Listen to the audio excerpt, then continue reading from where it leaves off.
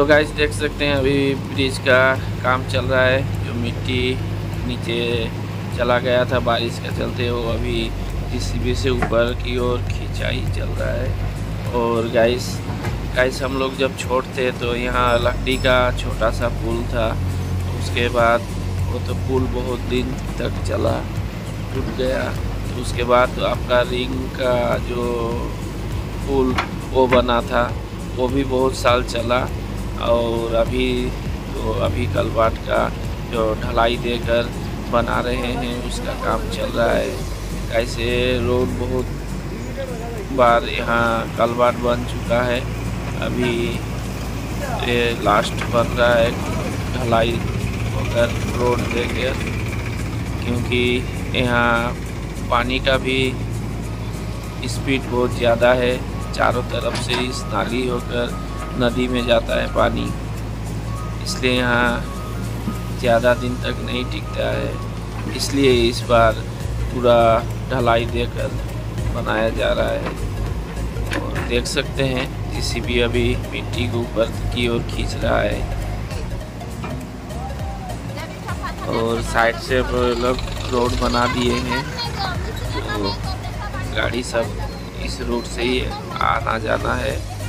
क्योंकि आज ये भी काम चल रहा है, आज एक साल से काम चल रहा है रोड का और कलबाट का और एक अंदर ब्रिज बन रहा है जो जिस ब्रिज से होकर चेकाचाम जाते हैं लोग तो उस ब्रिज का भी काम हो चुका है।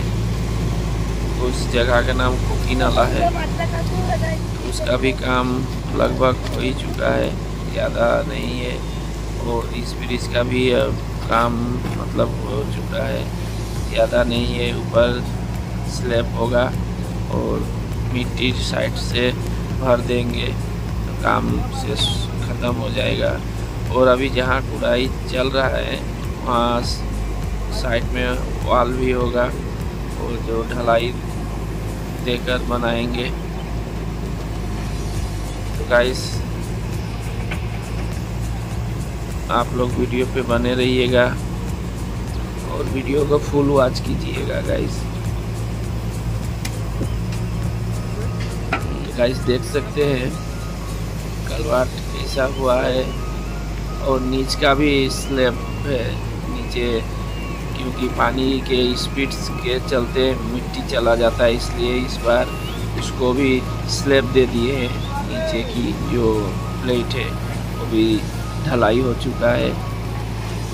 और जिसी भी देखिए, कितना मज़े से मिट्टी को खींच रहा है।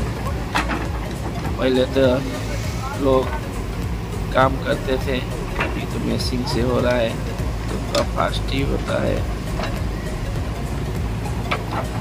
तो गाइस वीडियो कैसा लग रहा है? आप लोग ज़रूर कमेंट कीजिएगा। आप लोग वीडियो पे बने रहिए। गाइस देख सकते हैं।